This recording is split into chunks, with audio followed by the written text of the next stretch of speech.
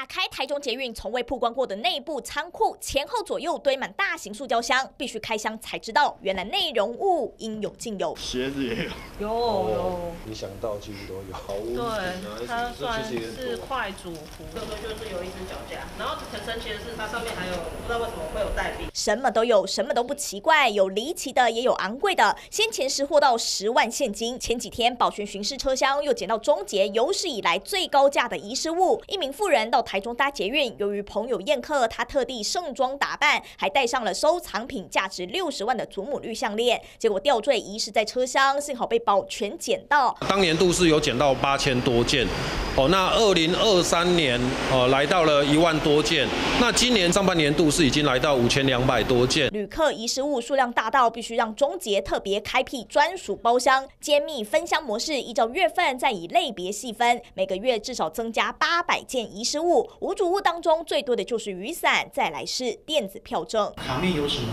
字，或者是说比较特殊？最怕失物招领却没人来领，囤到最后大爆仓，没人领回的雨伞。